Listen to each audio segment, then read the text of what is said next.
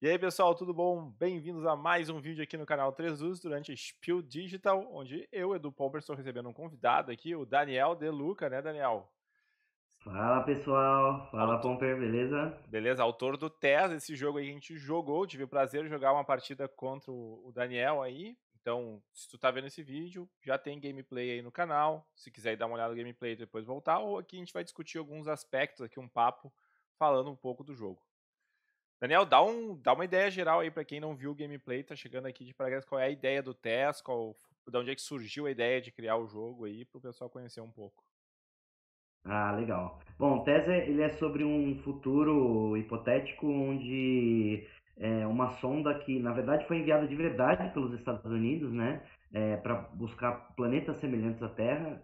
E 2020 eles, eles, esse TES encontrou um planeta muito parecido com a Terra, né? Isso de verdade mesmo. Se você ir lá nas notícias, você vai ver que foi encontrado um planeta muito semelhante com a Terra. Então eu brinco com essa ideia que num futuro você, a gente precisa sair da Terra, o que não é nem nenhuma grande ficção, né? É, e, e, e aí a gente precisa colonizar esse planeta que o, essa sonda TESS descobriu. E aí o planeta acaba tendo o nome de TESS é, em homenagem ao, ao, a, a, essa sonda, né?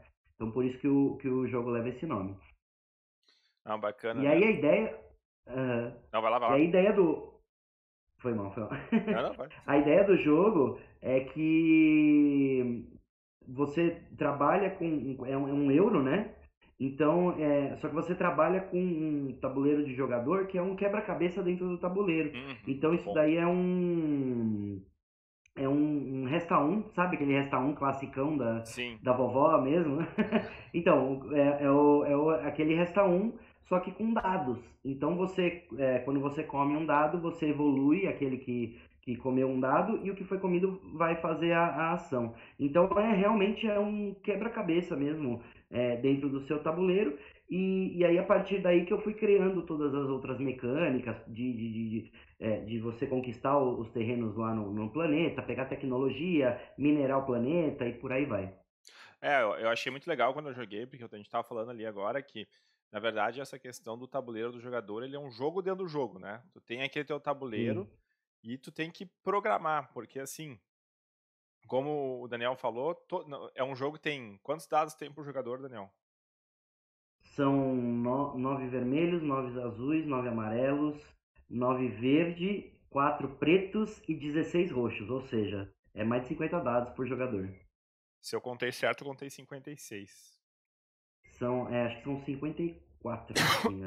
É, 54, 56, por aí. Então eu posso não ter contado certo, foi falado, eu fui somando aqui. Mas o legal é o seguinte, isso por jogador, e em nenhum momento do jogo, né, pelo menos comigo não aconteceu nenhuma carta que tivesse, tu rola dado. Né, os dados não, começam, em nenhum momento do jogo. Né, tu começa todos com numeração 1, dispostos aleatoriamente, cada um no seu tabuleiro, e tu tem poucos espaços vazios no início, né, então tem pouca opção no início onde é que tu vai pular o dado, daí tu pula aquele dado, por exemplo, se ele era 1, ele vai virar um 2, e o dado que foi pulado tu aciona. E aí, né, tem os dados, o dado azul, que vai ser o trabalhador, que vai buscar recursos, né? Tem o dado verde, uhum. que é o uhum. engenheiro, é isso, né? Que vai buscar outras coisas. Aí tem o dado vermelho, que seria o dado do exército, que vai atacar lá, que aí é a grande pegada da interação do jogo, né? Onde nós vamos tentar conquistar eh, ali terrenos, só que depois pode vir o adversário e cair em cima ali para pegar aquele terreno, né? E aí pode rolar uma batalha, inclusive baixando cartas, né? Uhum. Aí Então- tem o, o amarelo é cientista, Isso. que busca tecnologias dentro do planeta. Uhum.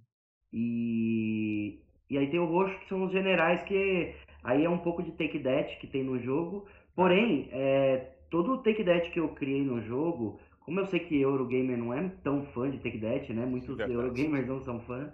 É, O que, que eu fiz? Todo take that que tem no jogo, ele é um take that que, primeiro, tá aberto na mesa, então todo mundo consegue ver a hora que o outro vai poder fazer aquilo ou não, e aí cabe a ele se defender daquilo. É, existe um ônus e um bônus de você fazer o take that, porque quando você faz, você gasta um terreno que é muito importante, porque são disquinhos que você tem é, poucos deles, né? E, e também a, as cartas que tem take that são só no final da era, então dá tempo do outro cara eliminar aquela carta antes de antes de levar aquela, a- a- aquele, aquele efeito, né? É, daí isso aí é o dado roxo e ainda tem os dados pretos que são exatamente para liberar esses disquinhos, né? Que tu vai ter ali embaixo, Exatamente. tu tem um espacinho que tu vai liberando quatro discos. E além de liberar o disco, tu Uhum. pode libera tu girar uma certa quantidade de dados que tu quiser. É, é, eu acho muito legal. Isso eu vi no jogo ontem que é bem legal, essa estratégia de saber o momento de tu girar o dado e tudo mais. É, é bem legal. Uhum. Outra coisa legal que eu achei é aquela parte da evolução né, que tu pode Uhum. gastar certa quantidade de recursos para evoluir. Aí tu evolui o quê? Porque no nosso tabuleiro a gente começa sem dado roxo, né? O dado roxo fica só na, na evolução. E aí, quando Aí ele tu fica travado ali, né? é. E aí, quando tu evolui, por exemplo, tu vai poder ter desconto em certos, ah, certos recursos em tudo, tu vai aumentar a tua força em todos os terrenos, tu vai economizar energia, porque no fim de cada era, né, a gente tem que pagar energia pela quantidade de dados ali que o jogador que deu o start de era, que a gente vai falar depois. E o que, que é a outra? Ah, e o outro te dá mais tecnologias ali, né? Te dá mais ações com, com o cientista, né?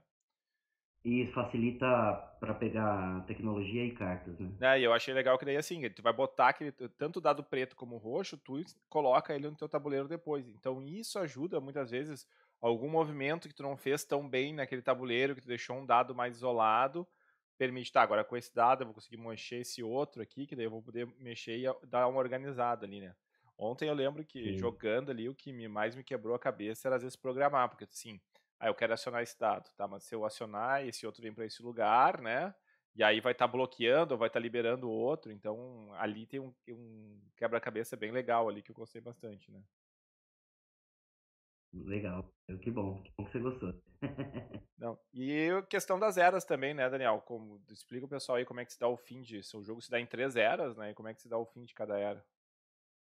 Sim, tudo isso que a gente está falando, a gente faz as verificações no, no final das eras. E as eras são é, é outro ponto que eu, eu, eu tentei pensar de uma forma que está na mão do jogador quando acabar. Uhum. Então você não tem definido certinho, ah não, depois de cinco rodadas acaba a primeira era. Não, é, conforme você vai fazendo as ações, você vai mandando trabalhadores para o planeta. E aí quando chegar a determinado número de trabalhadores, é, você dispara o fim da era. Então você consegue mandar mais de um trabalhador, ou você consegue atrasar o, o, o final da era, resgatando um, um, um, um trabalhador lá da cidade para trazer de novo para o seu player board. Então você tem um pouco de controle de quando vai acabar a era. Por quê? Está totalmente ligado a quantos terrenos que você tem ali. Então, se eu estou ganhando ali nos terrenos, eu vou querer fazer com que o jogo rode rápido para Uhum. acabar a era logo. E quem está perdendo não, vai querer segurar um pouquinho as eras para poder correr atrás do prejuízo, né? Então você tem essa, essa brincadeira. E os dados que vão ali para a cidade, depois que acaba a era, você tem que pagar energia para eles. É, e se você não conseguir pagar energia, você tem que pagar com ponto de vitória. Então isso é mais uma coisa que você precisa é, ficar esperto ali é, no, no flow do jogo, né? É, e é legal assim, né? Porque não é todo dado que vai direto para a cidade. Por exemplo, os azuis e os verdes ficam no teu tabuleiro, a não ser que tu faça uma ação para liberar ele. Mas daí o amarelo vai direto, o preto também, né? O preto vai direto Também. e o roxo também. Ah, e o vermelho, por exemplo, se eu ataco o Daniel e venço, eu capturei aquele dado, aquele dado também vai para minha cidade. E aí isso aí pode disparar o fim da era. Eu achei legal. Na nossa partida não aconteceu de ninguém atrasar, né? Porque eu tentei fazer uma tática no fim de dar uma adiantada que eu achei que eu podia ganhar de alguma maneira. Vou dar spoiler já do É. gameplay para quem não viu ali, né? Mas até que eu achei bem, porque tu olha a primeira rodada ali, a primeira rodada eu fiquei bem atrás. Ah, outra coisa que a gente não falou, que acho que daí foi o que eu tentei usar para recuperar um pouco. Teve duas coisas que me ajudaram a recuperar no jogo. Ah, como é que é o nome dos, dos, das- dos bônus, aqueles lá em cima? São Os milestones. milestones, né? Que são meio que corridinhas que a gente faz, né? Que a gente faz. Primeiro tem que acionar aquilo com o dado roxo para depois tu ir de novo e conquistar. Só que tem um detalhe, não precisa ser tu que vai com o dado roxo primeiro, né? Pode ser um outro Sim. jogador e depois tu conquista. Na tua ação tu pode conquistar. Aí no nosso jogo tinha baixar cinco cartas, eliminar uma cor. ah, não lembro mais. Tinha uma que era eliminar o um quadrante, espaço- né? Um quadrante. Tinha outras agora que eu não lembro. Tinha uma de recursos, que era ter 20 recursos. E tinha mais Isso. uma, que agora eu não vou lembrar qual que era que estava no jogo. Mas Acho é que era legal. dos quatro disquinhos, né? Isso, dos discos, exatamente. E aí eu lembro que isso foi uma jogada que eu tava ali, ah, eu vou fazer isso aqui, aí eu vou liberar, porque essa é, eu já tinha completado a dos discos. Ah, e tinha uma que tu tinha que ter, só que tu pra ir lá tu tinha que ter o máximo evoluído numa das evoluções também. Isso. Aí eu disse, ah, o Daniel isso, não tem. Então eu vou fazer isso aqui na próxima conquista. E o Daniel se adiantou ali na jogada dele, ele conseguiu liberar o máximo numa, e ele pegou os 15 pontos, e eu peguei os 10 pontos. Aí no fim a gente até tava brincando, né, que o jogo ele é bem apertado, pelo menos o nosso foi bem apertado na pontuação. Porque tu mudava uma dessas jogadas, pronto, já ia ter mudado o vencedor do jogo ali também, né? Outra coisa que eu achei Sim. legal é que, por exemplo, no fim eu ataquei um terreno teu, tu tava com ele desde o início do jogo, e ele tava te dando bastante ponto. No fim, eu não fiz ponto naquele terreno, mas eu te tirei ponto por fazer aquilo, né? Foi, foi pensando mais em tirar ponto de ti do que fazer ponto. Então tem essas interações legais e assim, bem estratégicas durante o jogo, né? Tu, tu, pensou bastante isso durante o game design, como é que foi? Sim, sim. O que, eu, o que eu quis com os terrenos e o que eu quis com esse jogo é que você. Porque normalmente a máquina de ponto, normalmente você vai baixando carta que vai te dando uma habilidade para levantar outra carta, vira um, uma maquininha mesmo, né? Uhum.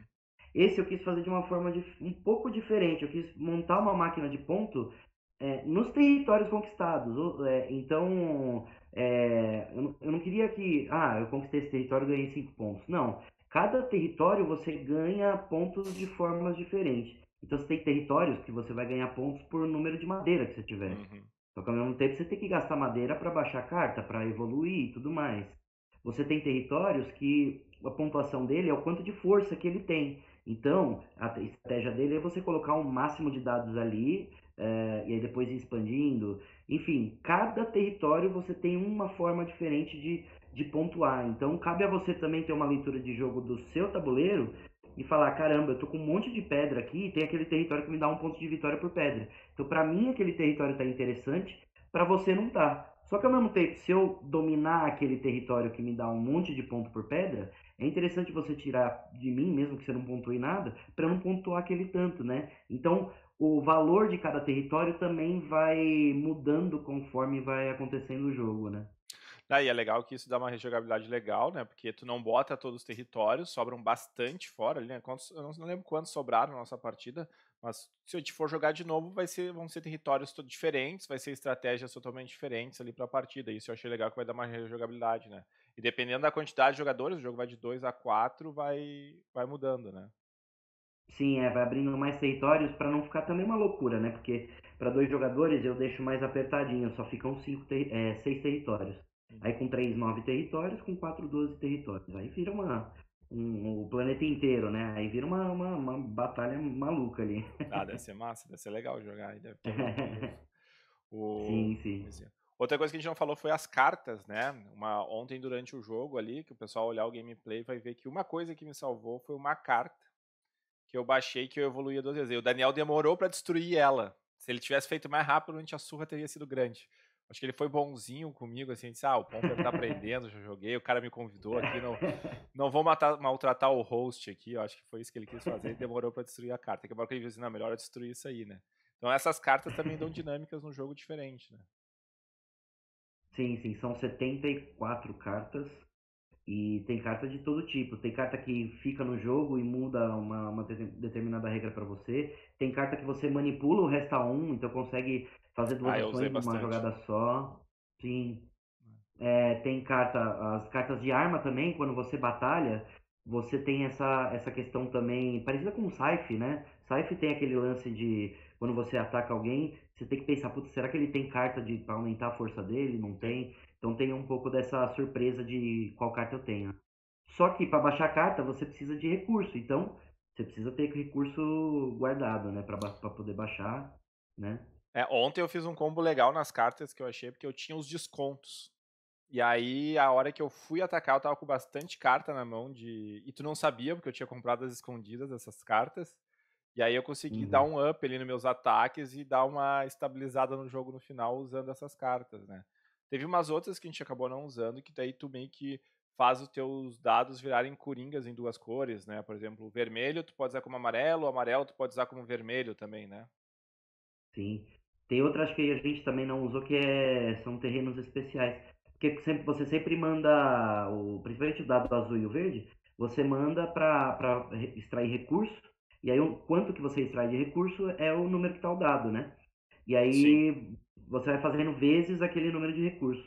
E aí você vai ter cartas que são espaços novos também no tabuleiro, que você vai colocar a carta do lado ali e você vai poder mandar o dado para essa carta. Ah, que então, legal. sei lá, é, não saiu pra gente, né? Não, não. Mas vai ter um espaço que vai dar dois ouros e duas madeiras. Então você manda um dado de dois, você ganha quatro ouros e quatro madeiras. Então ah, é, isso... é, é bem é apelando a carta. importante que a gente não falou, né? A, por que aumentar os dados, né? Por exemplo, o, o, o, trabalhador ali, né? Ele vai, por exemplo, tem um espaço que é três ouros. Se eu mandar um dado um, eu ganho três. Se eu mandar um dado dois, seis. Se eu mandar um dado quatro, né? Eu vou ganhar 12 ouros. Então, às vezes tu vai querer, tu precisa do recurso, mas tu vai demorar um pouco mais para fazer aquela ação, porque tu quer aumentar aquele número para tu ganhar mais recursos na ação ali, porque ela vai ficar bloqueada por um tempo.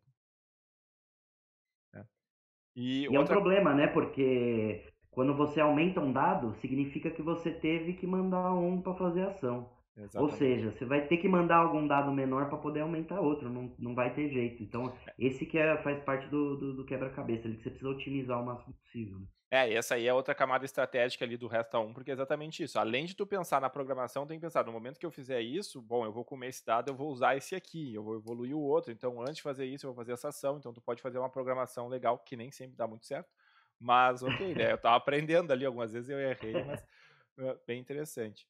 Outra coisa que eu gostei muito é que tem as tecnologias, né? Quando tu manda o um cientista, tu pode pegar a tecnologia, que são fichinhas, ou tu uhum. pode pegar cartas. E as tecnologias têm as naves, que as naves elas pontuam uh, no fim da era, né? Dependendo da quantidade, é um Sect Collection. E uhum. também elas podem usar para algumas cartas. Teve uma carta que eu baixei lá que eu usava a navezinha também, como eu tive que descartar uma. Mas eu achei legal aquelas fichas que tu bota no teu tabuleiro. Daí o que acontece, pessoal? Uhum. Por exemplo, tu bota uma ficha que é um mais dois ou mais um. Então, quando tu bota um dado ali em cima, né, que tu usou ele para pular, ele evolui um automaticamente. Mas se tiver uma ficha desse, ele pode evoluir mais um, mais dois, né? Então isso aí vai te dando um, um boostzinho, um bônus, né, nos dados, bem interessante. E óbvio, tu vai querer fazer teus dados pararem aí em cima mais, mais vezes, o que não é tão fácil também, né? Sim, exato. Tem tecnologia também de otimizar a questão do, do azul que vai minerar lá. Então, se você tem impresso uma madeira, por ah, exemplo, na área do azul, e você vem com dado 2, você vai pegar 2. Porém, se você pegar uma tecnologia que tem impresso 3 madeiras, você coloca essa tecnologia por cima daquela uma madeira. Então, quando você vier com um dado ali, vai ser vezes 3 e não vezes 1. Então, você tem essa otimização também do tabuleiro. O tabuleiro ele vai mudando conforme o... você vai jogando, né? É, e outras coisas que tu pode fazer também com isso aí é até descartar uma, um recurso que não está sendo mais importante tanto para ti. Eu vi conforme eu fui evoluindo no jogo ontem, a pedra, eu consegui uma carta que me dava desconto e eu tinha aberto a tecnologia. Então, pedra eu tava com dois descontos, eu já tinha evoluído tudo e já tinha umas pedras em troca. Tipo, ah, pedra não é uma coisa que eu vou precisar tanto. Aí eu, eu pensei, até acho que eu não cheguei a fazer, em botar uma fichinha de madeira em cima da pedra que tava livre. Porque tá, ok, eu tô precisando de madeira, eu já tinha gastado o ícone da madeira, é uma outra tática que tu pode fazer para conseguir mais recursos bem legal também, né, que tá no jogo. Sim, sim, exatamente. Quero pedir desculpa que acho que tem um zoológico aqui de fundo meu. Não, relaxa. É a assim, vizinha assim, tem um monte de cachorro. Aqui é a mesma coisa. O pessoal que ouve os vídeos do canal, de vez em quando olha, tem uns cachorros latindo no fundo, até bota a, busca um pouquinho mais alta para não. Relaxa que isso aí acontece. E... É. Cara, tu, tu, tu é diagramador, né? A arte aí, toda quem fez foi tu, né? Sim, fala, sim. Fala um pouco a, aí da, arte de diagramação. É, inclusive, meu processo de criação de jogo, ele passa pela arte. Eu não faço arte depois do jogo, né? Tudo bem, a primeira ideia dele eu fiz no, no, no, no Photoshop ali, os quadradinhos, Sim, assim, só claro. para matar a ideia mesmo, para não esquecer, né? Uhum. Eu acho que eu até, devo até ter aqui a primeira versão. E mas aí depois, conforme eu fiz a, a, ideia base, eu fui afinando ele fazendo a arte, porque conforme você vai fazendo a arte, você vai fazendo a iconografia, você vai tendo um monte de ideia. Então metade das ideias do jogo eu fui tendo fazendo a arte. Legal. E essa arte é toda tua, não? Tu não pegou nada de lugar, tu criou tudo, como é que foi? Não, é, eu não sou ilustrador, eu sou, só sou designer, né? Então eu tá. peguei a base, a base do, da, da, das imagens, eu peguei de, de banco de imagem, que uhum. provavelmente eu vou pegar um ilustrador para refazer, claro. né? Mas, mas de qualquer forma, eu mudei tanto ali aquela ilustração, eu peguei só a base mesmo, assim, né? Que é como se fosse uma, uma coisa nova ali, né? E, e mas aí todo, todo o restante do, do tabuleiro e do tabuleiro de jogador e tudo mais eu, eu que fiz, né? Ah, que massa. Não, achei bem legal.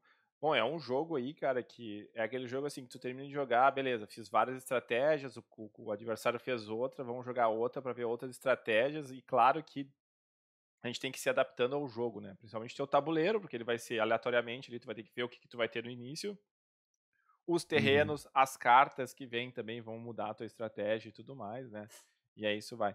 Isso é uma outra coisa que a gente falou, né? Daí no fim da era, de cada fim de era a gente falou, né? Primeiro tu paga a energia de acordo com os dados. É isso a primeira coisa? É, né? Depois a gente, não, a gente verifica as cartas que dão bônus, né? Isso, exatamente. Depois paga a energia, faz a pontuação dos terrenos, depois fez a pontuação dos terrenos, aí a gente deixa. deixa pontuar, pontuar a nave. Pontuar a nave, que eu ia esquecendo. Daí é, é uma nave dá um ponto, duas dá dois, três dá quatro, e assim vai aumentando, né? Uhum. E aí depois tu compra duas cartas e deixa todas as tecnologias mais baratas e passa para a segunda era e a terceira era, e aí acaba o jogo. E, vem a, e a pontuação é sempre assim, não tem nada diferente no final do jogo, né? Uhum. Hum. Exatamente. Mas é isso aí então, né, Daniel? Acho que a gente deu um papo aí, uma visão geral do jogo. Tu quer falar mais alguma coisa, dar um destaque, alguma coisa que eu tenha esquecido? Não, eu acho que, que basicamente é isso mesmo. Cada, cada partida é uma coisa.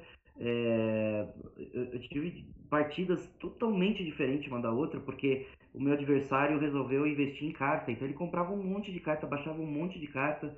É, eu, eu, tive outra que era muito mais solta, porque o cara logo de começo conseguiu todos os descontos azuis de é, de, de, recursos, então o jogo rodou muito rápido, porque ele conseguia é, ir evoluindo outras coisas, baixar a carta, então realmente cada jogo é um jogo, não, não, não tem jeito assim. E eu quero convidar o pessoal, né, para testar o jogo, quem quiser aí na, na, na Spiel, eu vou abrir alguns horários, é, acho que é legal acompanhar o meu, meu Instagram de repente. Não, é, fala aí que eu vou deixar na descrição do vídeo também pro pessoal seguir.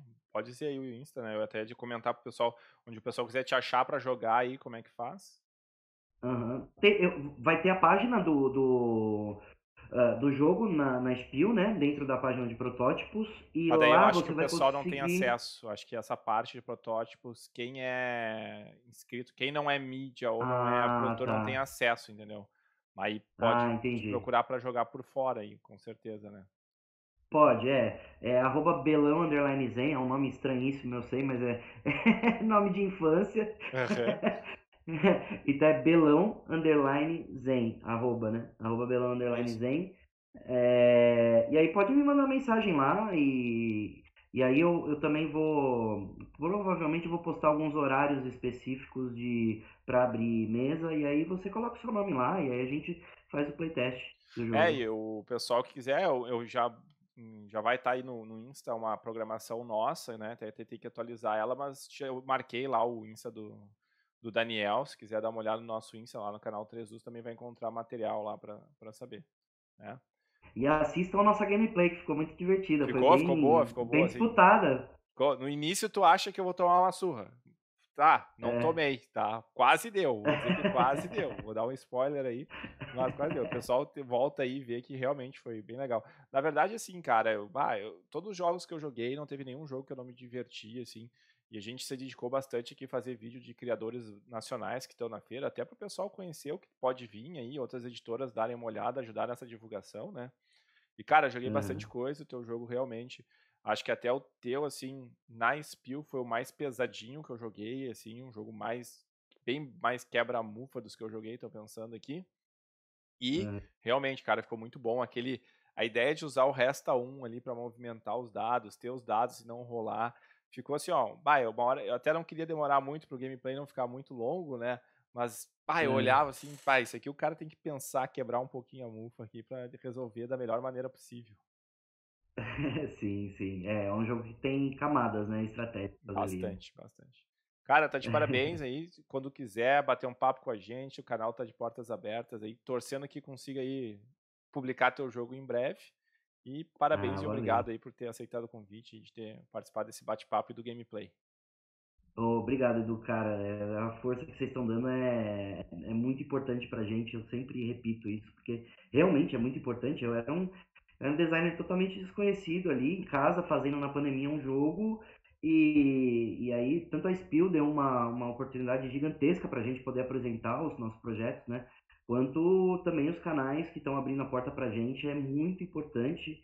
E, e que bom que o pessoal está gostando. E espero que o TES seja um jogão aí que represente a, a, a escola brasileira de jogos, né? Que tem crescido tanto aí, né? Não, muita coisa boa vindo aí, e a gente tem que. A gente sempre teve aqui no canal essa ideia de mostrar jogos nacionais, até porque o Reis e o Guerra também são designers, né? Eles são designers nacionais é. aí, então a gente ajuda. E a galera gastou, né? Botou uma grana para ir para Spill, então gostaria de fazer vídeo com todos, mas teve bastante coisa aí, mas tem bastante canal também divulgando, então cada um fazendo abrindo um pouquinho de espaço, dá para o pessoal ir conhecendo aos poucos os jogos aí. Legal, é isso aí. Então tá. Obrigadão. Valeu, Daniel. Obrigadão. Um forte abraço, meu. Sucesso aí e vamos nos falando. Valeu, galera. Obrigado. E se Deus quiser, a gente vai jogar na mesa o Tese. Pô, tomara, hein? Acabar essa pandemia e te visitar pra gente conhecer esse jogo aí. Ou num DOF, é isso aí, obrigadão. oh, pois é. é. Valeu, gente. Até mais. Obrigadão. Tchau, tchau. Até mais.